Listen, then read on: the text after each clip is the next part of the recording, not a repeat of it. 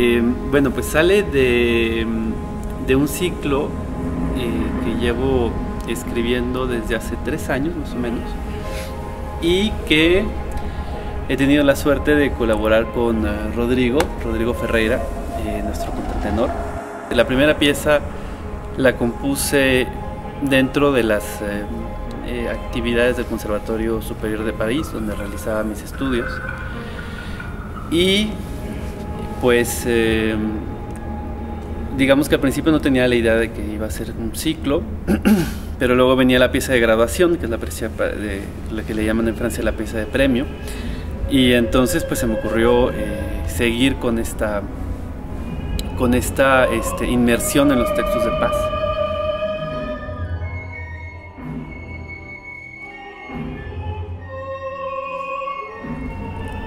Y entonces, pues bueno, ya teniendo las dos primeras piezas, le propuse al maestro Arián, este, pues, eh, terminar el ciclo con la filarmónica, porque además eh, el ciclo es de instrumentación creciente, es decir, que la primera pieza fue para 15 instrumentos, la segunda para 22 y ya la tercera con orquesta. Las dos primeras tienen electroacústica, entonces oyendo un poco más, y la tercera dije, bueno, con orquesta eh, sinfónica, pero sin electroacústica. Eh, y los poemas, el primero viene de- del libro Ladera Este y eh, se llama Custodia, y los otros dos poemas vienen del libro Árbol Adentro. El segundo, eh, la segunda pieza del ciclo viene, está basada en el poema Coda, y la tercera está basada en el poema Árbol Adentro, tal como también se llama el, eh, el libro, ¿no? Ese, el poemario de Octavio Paz. Bueno, desde ya es una suerte tener tres piezas compuestas para mí, para mi voz. Antonio me conoce, me vio cantar en óperas y todo esto. Y es una colaboración larguita ya, porque era 2010, cuatro años. Cuatro años. Al final de esta trilogía de Octavio Paz. Y lo que me, me gusta es que su, su escritura se desarrolló cada vez más, cada vez más. Y al final llegamos a una pieza completamente acústica hoy.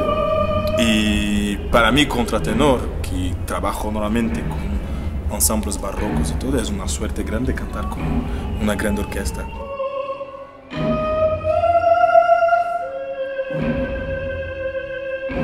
digamos, la- lo que sigue después de este tuto orquestal donde están eh, los pícolos y, las eh, cuerdas tocando un poquito como jarana.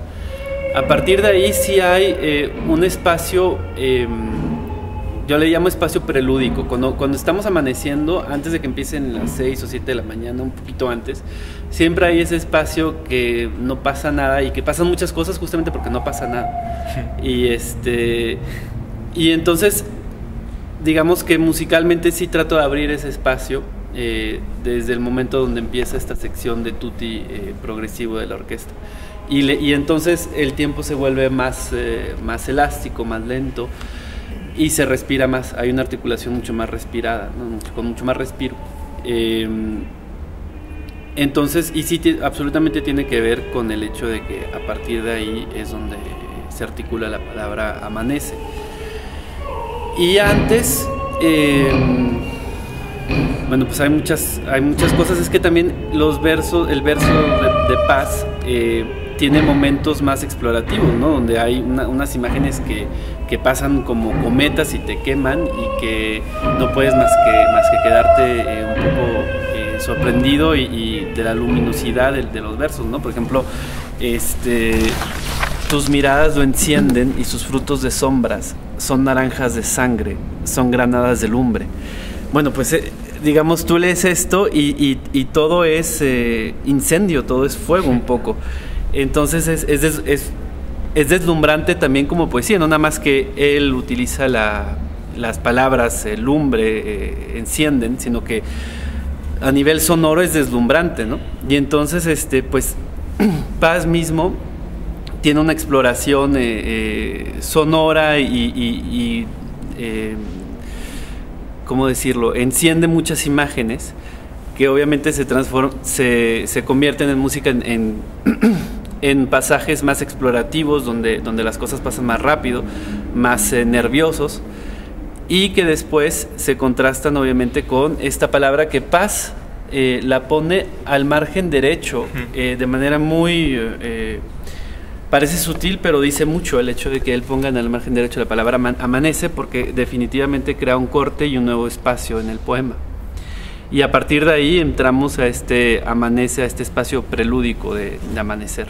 El interés de utilizar un contratenor, aparte que es una cosa muy rara ver un hombre cantando así agudo, es ya una cosa... Uh, es rara, pero es que esta voz permite sonidos súper puros y simples a la vez, que son muy agradables para la música barroca, también para la música contemporánea.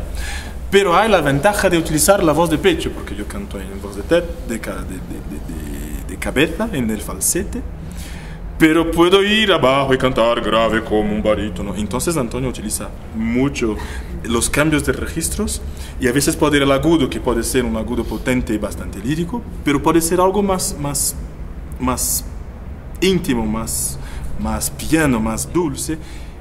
No quedaría la, completa la explicación de por qué, eh, por qué utilizar un, un contratenor si no mencionáramos el hecho de que estos tres poemas eh, giran en torno al amor, ¿no? Octavio Paz me parece más allá del gran intelectual y del hombre universal y cosmopolita que, fue y, y con inclusive eh, actividad eh, cultural y, podemos decir este, de opinión muy fuerte en nuestro país internacionalmente, fue un poeta del amor. Me parece que eso es lo que a mí, por lo menos personalmente, es lo que más me, lo que más me ha llamado de él, ¿no? Esas idas y venidas a, sus reflexiones en torno al amor, que las concretizó muy bien o las, plasmó, las, plasmó, muy bien en este libro en de ensayos, La doble llama, Amor o Erotismo. Este, y bueno, estos poemas van formando todas esas reflexiones, pero de manera más eh, musical y de manera más, eh, más eh, tal vez un poco más intuitiva que en un ensayo. Pero de todas maneras, este, bueno, son poemas en torno al amor. Entonces, eh, el amor de pareja, de hecho.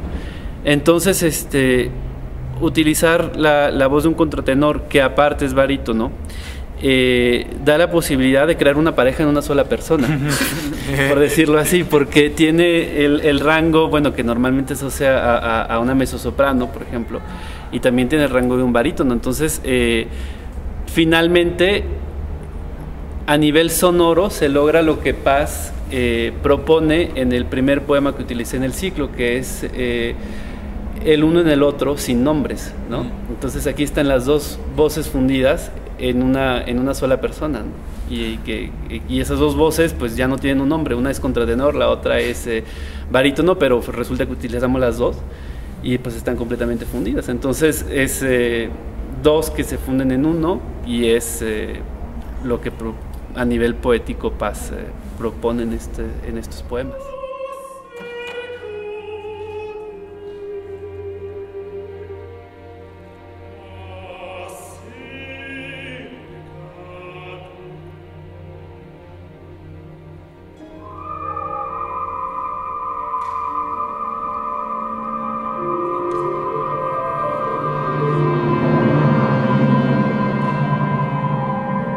Es de verdad eh, de admirarse, diría yo, la, actividad eh, y el riesgo musical eh, de la filarmónica en hacer creaciones de, compositores de mucha voluntad de decir, bueno, tomamos el riesgo de hacer cultura, que eso es, qué mejor homenaje de rendir a paz sino hacer cultura.